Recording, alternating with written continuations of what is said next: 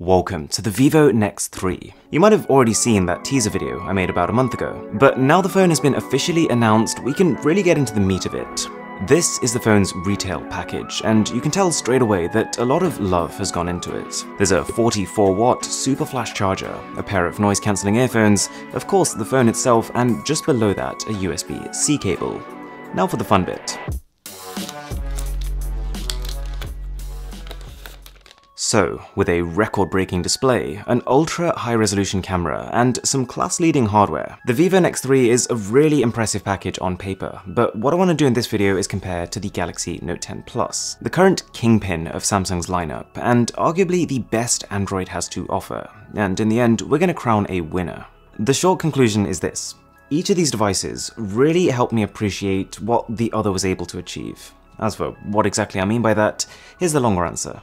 I really like how the Note 10 Plus feels. It is a massive phone, but it's only next to something like this do you realize just how good of a job Samsung has done making it feel manageable. The Note is far lighter, and this combined with it being a sliver thinner makes it feel substantially more svelte. If you've had the chance to pick up one of Apple's newer iPads, I would describe picking up the Note 10 Plus as a similar experience. It's kind of like one of those, oh wow, that is a lot lighter than I thought it was going to be moments. It is a little bit sharper around the corners, but overall it wins the prize for ergonomics. And the Vivo doesn't even feel bad, it just feels like about what you'd expect it to.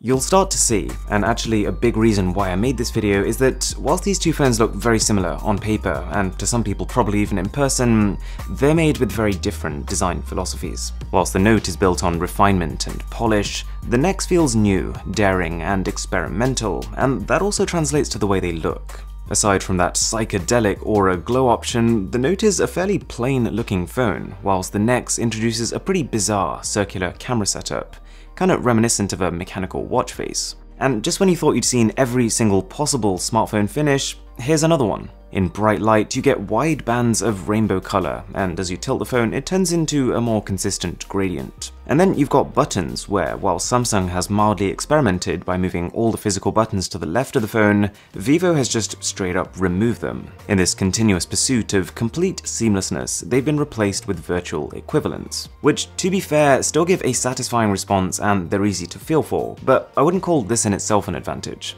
What is an advantage though is the fact that Vivo retained the headphone jack, whilst the Note didn't. So kicking off the deep dive with a bit of charging. We've already seen that the Nex comes bundled with a 44 watt charger, and whilst the Note is technically capable of 45 watts, it only comes bundled with a 25 watt adapter, so that's what most people are going to use. As expected then, Vivo steams ahead, and by the time the Note 10 Plus has hit 8%, the Nex is already on 13. The battery capacities themselves are pretty similar, and actually pretty high on both. You get a 4500 mAh cell on the Nex and 4300 mAh on the Note.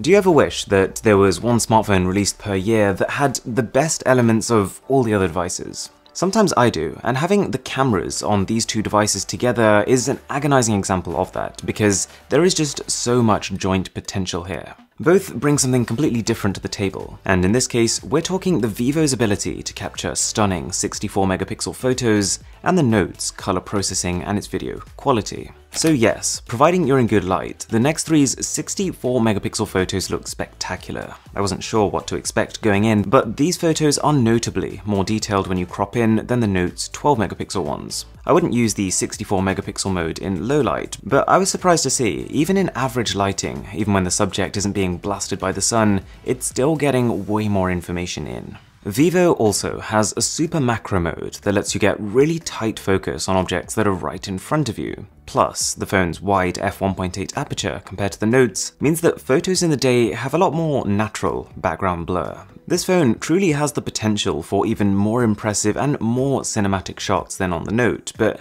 generally, I find that Samsung processes color better, and by comparison, the Nex shots can seem a little pale. Both of these phones are brilliant for taking photos, but the Note is well ahead when it comes to both video quality and video stabilization. Oh yeah, and this applies to the front cameras too. Another thing worth noting, if you were trying to vlog, for example, the Galaxy Note 10 Plus's front camera is far more capable. It records at not just 4K resolution versus 1080p on Vivo, but dynamic range is better, even the audio quality is better. On a bit of a side note, if you do enjoy straight to the point tech content like this, a sub would be massively appreciated. There is a lot more coming, especially with the whole slew of smartphones that are about to drop very soon. Anyways, one very important consideration with the Nex 3 is the fact that the chip inside this phone is faster than both the Snapdragon and the Exynos versions of the Note 10 Plus. Armed with the Snapdragon 855 Plus, the Nex 3 is around 10% more powerful, but the Note has a whole extra 4 gigs of RAM and faster UFS 3.0 storage. So in a weird kind of way, both phones are absolute performance tanks, but they specialize in different tasks. The Nex 3 will pull ahead in gaming, whilst the Note can handle more simultaneous applications at once and should be able to load things faster. I tried playing World War Heroes 2 on the Nex, and you are looking at ultra settings at a nearly stable 60 frames per second. It's gorgeous, easily some of the best graphics I've ever seen on a phone. And that brings me onto the elephant in the room, that viewing experience. They call this the waterfall display because of how it slopes into an almost vertical slant on the sides. And I've seen a lot of conversation about it. There are a lot of lovers, there are a lot of haters. So this is my take. I spent a long time looking at and using the curved panels on Samsung phones, but it's only when you see this side by side that you realize just how curved the Nex 3's is. I mean, if you look at this phone from the front, the sides pretty much disappear. And with most games completely filling the screen, it's impressive. It really does, as advertised, make it feel like your content is spilling over the sides. That said, this also makes me appreciate that the Note's display doesn't discolor nearly as much on the sides, and the fact that it remains responsive across its entire width. With the Vivo, these waterfalls are not really made for touching, it's not like you're getting more display to interact with. Mind you, that's needed, because if they were responsive, you'd be suffering accidental touches like crazy, but this also means that the waterfall is purely a visual thing. It's not like you can all of a sudden start scrolling lists using the sides of your phone. Also, whilst both are similarly large Super AMOLED panels, the Note 10's display is higher resolution, with less screen glare too. Although the fact that Samsung now filters blue light automatically from your display does mean the Vivo has cleaner, brighter whites. So waterfall display, I don't mind it. It looks impressive, it feels futuristic, but at the same time it's probably not up there with the priorities in terms of what I want from a phone display. Both devices also use in-display fingerprint scanners. The speed is about the same, but Samsung's ultrasonic scanner is technically superior. It needs less pressure to activate, and it can work even when your fingers are wet, although personally not a fan of that unlock animation. It feels lacking, especially when compared to Vivo's completely customizable offering. And, speaking of customizable offerings, the software you're looking at here is Vivo's FunTouch OS and it shares some aesthetic traits of Samsung's One UI skin, like the rounded square icons, but under the hood, they work pretty differently. With Vivo, for example, you swipe up once from the bottom and you can see all your quick toggles, which is actually faster than the two swipes and a stretch you need to do the same on the Samsung. They've both got a dark mode, they've both got powerful battery saving features, and both place an emphasis on reachability, which is pretty important when you're handling screens of these dimensions. Alright, so up until this point, really close battle. You're probably thinking, I don't know, which one is winning?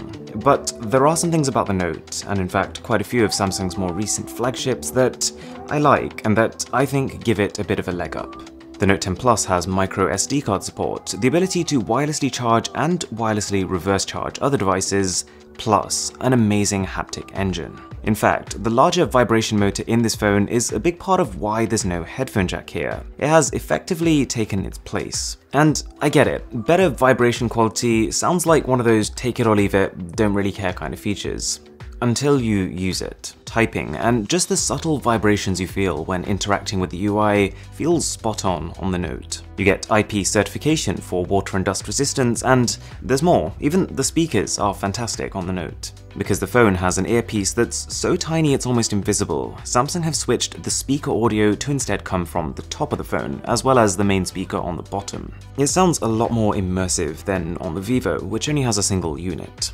And then, whilst it's not a massive deal for me, we also can't ignore the fact that the Note comes with the S Pen. It's just impressive that this is being stored inside the phone, and yet they've still managed to make a phone that is both slimmer and lighter and contains a similar sized battery. Oh yeah, and both phones also have a massive 256 gigs of internal storage, and both have a 5G variant, but for what it's worth, in every single room I tried, the Wi-Fi speed on the Nex ranged from slightly faster to a lot faster than the Note. So, what is the conclusion here?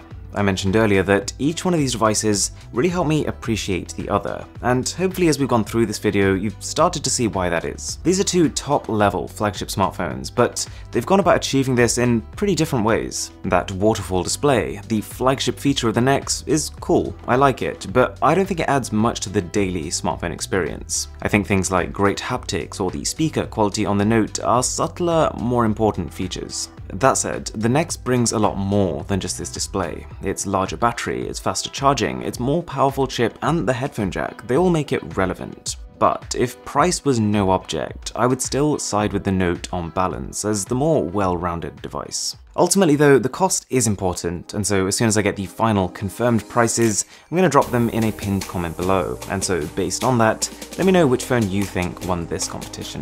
Thanks a lot for watching, my name is Arun, this is Mr. Who's the Boss, and I'll catch you in the next one.